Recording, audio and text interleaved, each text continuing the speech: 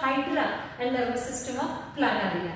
Now in this lecture we will study the neural tissue. The neural tissue is made up of two types of cells. That is neurons or nerve fibers and glial cells or these are also called neuroglial cells.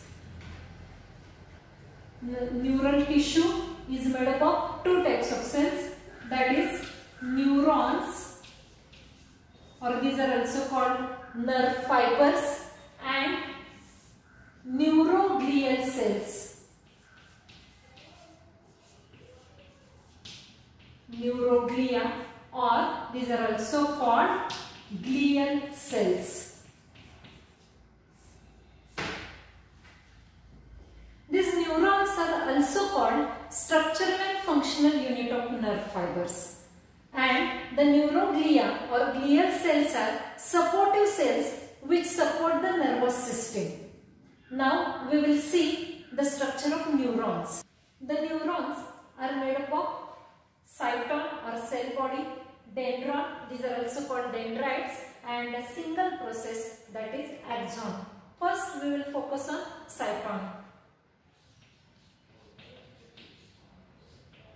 The cyton nucleus with nucleolus and a cytoplasm. The cytoplasm of this cyton is also called neuroplasm.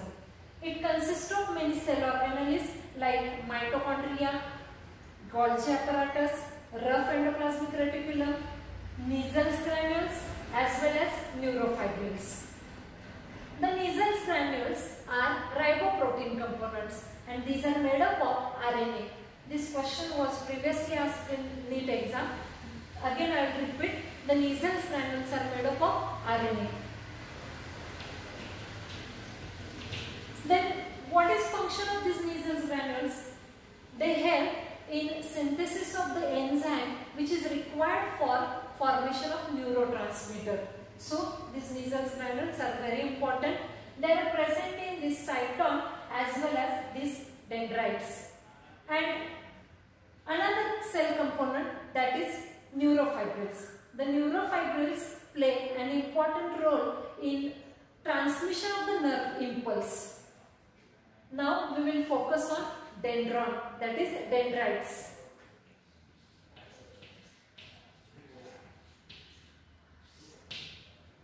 This dendron has a smaller processes so it is called dendrites. The dendrites, what is function of these dendrites? They collect an impulse from another neuron or the sensory organs. They carry the impulse and gives it to the cyton. Then we will move on axon. Now we will see the structure of axon. The axon, it is a single process which arises from the hillock of the cyton. This axon carries the impulse away from the cyton and it gives the impulse to another nerve fiber or motor organ. The axon consists of the covering called myelin sheath. If the axon consists of this covering myelin sheath, then the nerve fiber is called myelinated nerve fiber or it is also called medullated nerve fiber.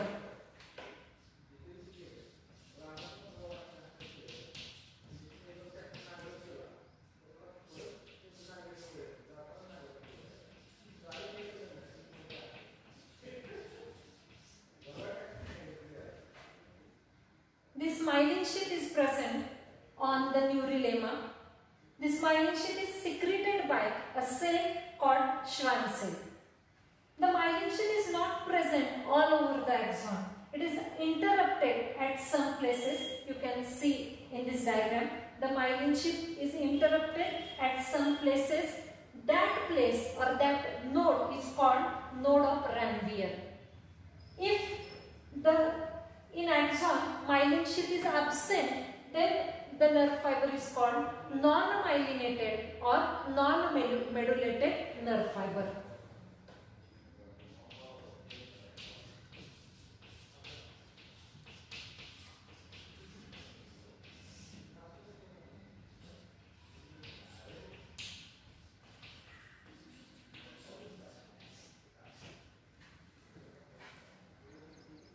In this non-medullated nerve fiber, only neurilemma is present. That is myelin sheath is absent here.